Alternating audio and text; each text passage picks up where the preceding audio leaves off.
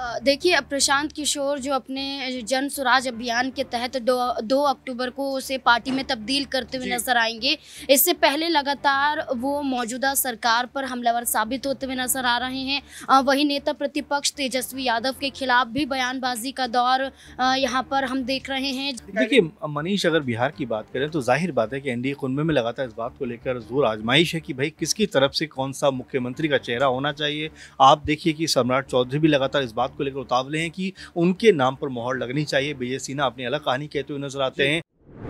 नमस्कार आप देख रहे हैं S P N nine news और मैं हूँ आपके साथ मनीष कुमार सैनी। बिहार में राजनीतिक माहौल बना हुआ है और ऐसे में देखा जा रहा है JDU RJD Bharatiya Janata party और अन्य दल सियासी मैदान में ताल ठोकने के लिए तमाम तैयारियाँ करते हुए नज़र आ रहे हैं। लेकिन देखा जाए, पशुपति आर, पशुपति पारस का ऐलान कर देना कि दो सीटों पर अपने उम्मीदवार उतारेंगे, ऐसे में बिहार के अंदर सियासी सरगर्मियाँ बढ़ती हुई नज़र आ रही हैं। देखा जा रहा है, नीतीश कुमार दसवीं बार मुख्यमंत्री बनने के सपने देखते हैं तो वहीं सम्राट चौधरी उनकी राह में रोड़ा बनकर खड़े होते हैं। ऐसे में अब देखना दिलचस्प होगा कि आने वाले समय में नीतीश कुमार एक बार फिर से सत्ता में वापसी कर पाएँगे।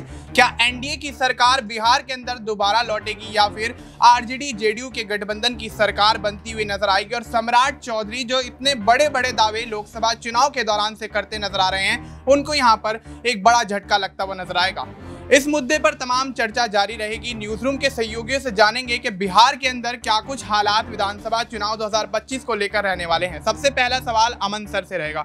अमन सर, किस तरीके से स्थिति देखते हैं कि बिहार के अंदर विधानसभा चुनाव 2025 में होना है? और सम्राट चौधरी नीतीश कुमार एक दूसरे के खिलाफ यहाँ पर कहीं ना कहीं सियासी बयानबाजी करते नज़र आते हैं। और अब देखना ये भी दिलचस्प होगा कि आने वाले समय में बिहार के अंदर एनडीए की सरकार वापस लौटती है। और अगर लौटती है तो नीतीश कुमार दोबारा से सीएम का चेहरा होंगी या फिर सम्राट चौधरी को वो ज़िम्मेदारी सौंप दी जाएगी? तो क्या कुछ लगता है कि सम्राट चौधरी अपने दावों में सफल होते? देखिए मनीष अगर बिहार की बात करें तो ज़ाहिर बात है कि एनडीए कुनबे में लगातार इस बात को लेकर ज़ोर आजमाइश है कि भाई किसकी तरफ़ से कौन सा मुख्यमंत्री का चेहरा होना चाहिए। आप देखिए कि सम्राट चौधरी भी लगातार इस बात को लेकर उतावले हैं कि उनके नाम पर मोहर लगनी चाहिए। विजय सिन्हा अपनी अलग कहानी कहते हुए नज़र आते हैं। अगर वहीं जेडीयू की बात करें तो जेडीयू में फ़िलहाल अभी नीतीश कुमार मुख्यमंत्री हैं, लेकिन क्या इस बार जेडीयू भी उनके नाम पर दाव नहीं लगाएगी और उनके बेटे यानी निशान का नाम चर्चाओं में है कि उनके नाम पर मोहर लग सकती है। अब अगर तीसरे गठबंधन की जो गठबंधन के तीसरे सहयोगी दल की बात करें चिराग पासवान की बात करें तो उनके मन में भी कहीं ना कहीं ये ख्वाहिश है कि भाई बिहार में जो है मुख्यमंत्री के पद पर उनको बैठाया जाए। और जब उनसे पूछा गया था तो उन्होंने कहा था कि अगर मुझे ये ज़िम्मेदारी मिलती है तो मैं अच्छे से इसका निर्वहन करता हुआ नज़र आऊँगा। तो आप देखिए कि एनडीए कुनबे की अगर तीनों पार्टियों को देखें जो बड़ी पार्टियाँ हैं तीनों की हसरतें जो है वो सीएम पद को लेकर हैं। क्योंकि बीजेपी की तरफ़ से पहले भी मनीष ये बात कही जाती रही है कि भाई, हम हर एक बार जो कह सकते हैं कि हमारा जो मुख्यमंत्री बनने का सपना है, वो टूट जाता है क्योंकि जब भी जेडीयू के साथ में हमारा गठजोड़ होता है तो मुख्यमंत्री नीतीश कुमार ही बनते हुए नज़र आते हैं। लेकिन नीतीश कुमार जैसे ही बीजेपी से उनका मन उकताता है, वो तुरंत आरजेडी के पास चले जाते हैं। लेकिन कमाल की बात यह है कि दोनों ही यानी आरजेडी और बीजेपी से कम सीटें होने के बावजूद हर एक बार जो है नीतीश कुमार मुख्यमंत्री बनते हुए नज़र आते हैं। तो ये तो मैजिक उनका है, लेकिन क्या इस बार ये मैजिक खत्म होता हुआ नज़र आ सकता है? क्योंकि प्रशांत किशोर भी लगातार अब जो है मैदान में आ, कह सकते हैं नज़र आ रहे हैं अपनी पार्टी बनाकर कहीं ना कहीं मुकाबला करना चाहते हैं ताबड़तोड़ बयानबाजियाँ कर रहे हैं। नीतीश कुमार के ऊपर भी हमला करते हैं कभी आरजेडी के ऊपर हमला करते हैं कभी तेजवी पर हमला करते हैं। यानी कि एक तरीके देखा जाए तो बिहार में वो भी अपने आप को इस्टेब्लिश करना चाहते हैं लेकिन मुकाबला जोरदार है। अगर एनडीए की बात करें तो यहाँ पर सम्राट चौधरी वर्सेज नीतीश कुमार नज़र आ सकता है। और साथ में अश्विनी चौबे ने भी ये बात कही थी कि भाई मुख्यमंत्री अब बीजेपी की तरफ़ से होना चाहिए बीजेपी की अगुवाई में चुनाव लड़ा जाना चाहिए। तो तमाम सारी बातें इसको लेकर फ़िलहाल अभी ये नहीं कहा जाएगा कि आ, सब कुछ मसला सुलझ गया बल्कि ये कहा जाएगा कि फ़िलहाल इस पर बात करना कुछ दिनों के लिए बंद कर दिया लेकिन जैसे समय आएगा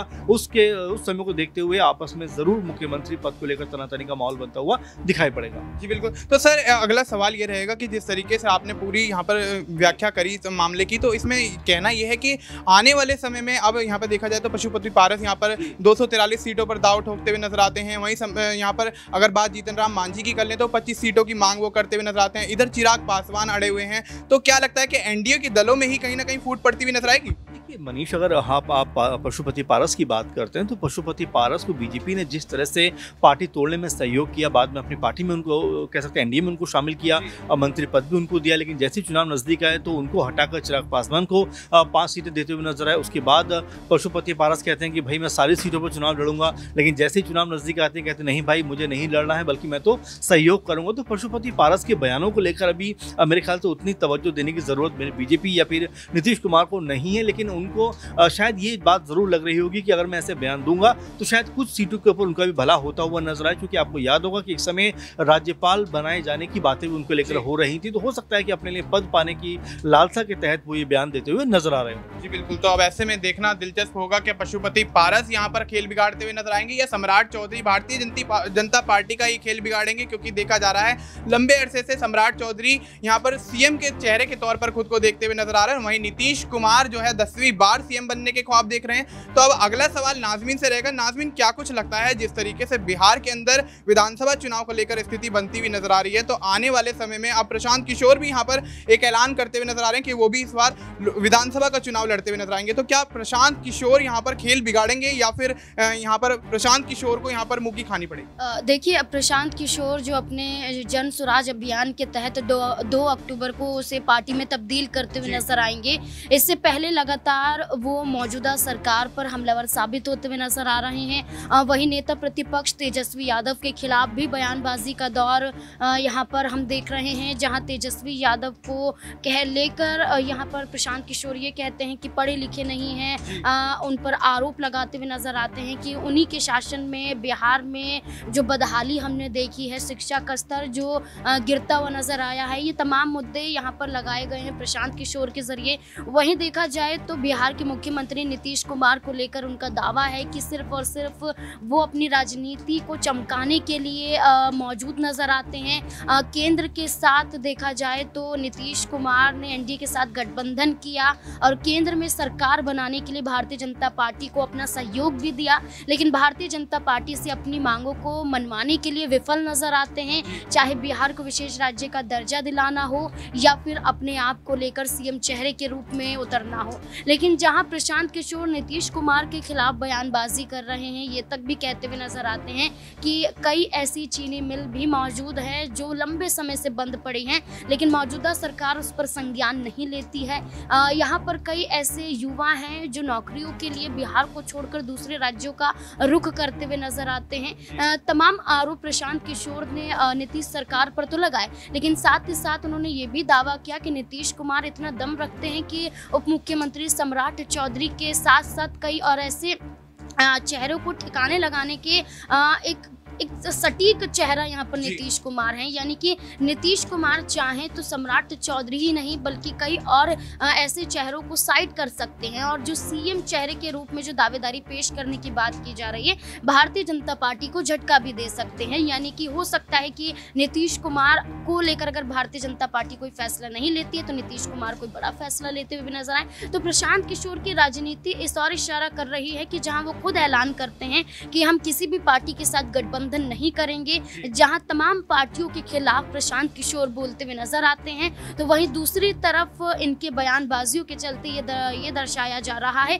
कि कहीं ना कहीं विधानसभा चुनाव से पहले पार्टी में तब्दील होने के बाद वो कोई बड़ा ऐलान गठबंधन को लेकर भी कर सकते हैं क्योंकि अभी गठबंधन को लेकर ऐलान करना कहीं ना कहीं उनके लिए मुश्किलों भरा सफ़र हो सकता है। इसलिए हो सकता है कि आने वाले दिनों में ये फैसला भी प्रशांत किशोर जल्द लेते हुए नज़र आए। जी बिल्कुल। तो अब आने वाले समय में प्रशांत किशोर क्या फैसला लेंगे? उनके फैसले से क्या कुछ बिहार की राजनीति पर प्रभाव पड़ता हुआ नज़र आएगा? क्या नीतीश कुमार का खेल बिगाड़ते हुए प्रशांत किशोर नज़र आएँगे? या फिर सम्राट चौधरी जिस तरीके से यहाँ पर कोशिशें करते हुए नज़र आ रहे हैं, सम्राट चौधरी ही वो चेहरा होंगे जो नीतीश कुमार का खेल बिगाड़ेंगे। फ़िलहाल के लिए इतना ही। देश और दुनिया से जुड़ी तमाम जानकारी के लिए आप देखते रहिए एस पी न्यूज़